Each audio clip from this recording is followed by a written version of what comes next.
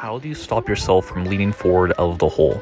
So I've been over this before, a good morning squat is primarily due to weak quads. But here's the thing, this is Lu Xiaojun squatting super upright. Not everybody is built like Lu Xiaojun. You likely aren't going to be best off trying to squat super upright. If you have very short femurs and super strong quads relative to your posterior chain, yes, you can do it. But the vast majority of the people leaning forward out of the hole is from trying to squat more upright than they're meant to. Instead, simply embrace bending over more. Your body ends up in that position because it's stronger with it. It's trying to take load away from the quads and shift it to the posterior chain. Just accepting this will let you move more weight. A good way to cue it is to keep a bit more pressure on your heels, not so much that your overall balance is away from your midfoot, but most people trying to squat super upright end up on the front of their foot.